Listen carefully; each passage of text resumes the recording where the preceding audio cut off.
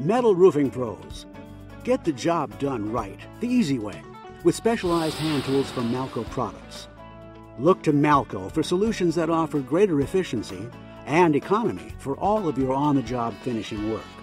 The Malco 24 inch and 18 inch drip edge folding tools, however, are specialized for making 1 inch or 1.5 inch deep bends in standing seam roofing panel edges. The high leverage drip edge folding tool is lightweight for working overhead on installed panels.